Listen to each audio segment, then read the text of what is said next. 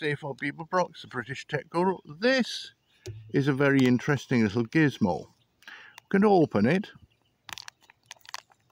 There we go. Get it out of the packet. This is called a boost converter and it can raise a voltage. So I think the limits on this are probably 5 volts for input and 35 volts for output. I think. I'm not entirely sure. Uh, it's okay, I need 27 volts and I've got a 9 volt battery. So, what does it look like in use? Well, I'm glad you asked that. I've got one soldered up there. And I've got a voltmeter which we're going to balance there somehow. And I've got a PP3 battery, so we're going to put, put the battery behind the voltmeter and just hope it of all stays in place, which it probably isn't. I'm going to plug the bat, plug it all up, and we're going to read round about 9 volts. Move this over a little bit so you can see better. And I put my screwdriver. Oops. Well, I hope you can still see. Nope. You, let's see if we can get that into. I'll put my screwdriver in here.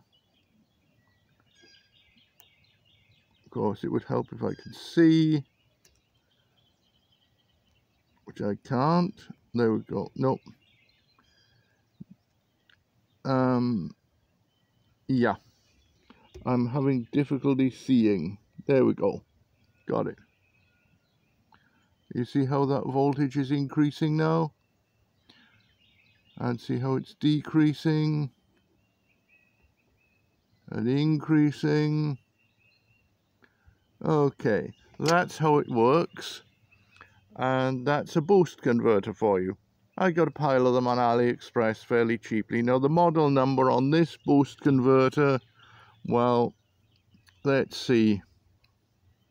I'll see if I can zoom in on the on think focus in on that for you. Maybe not. There we go.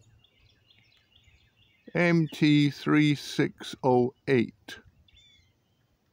and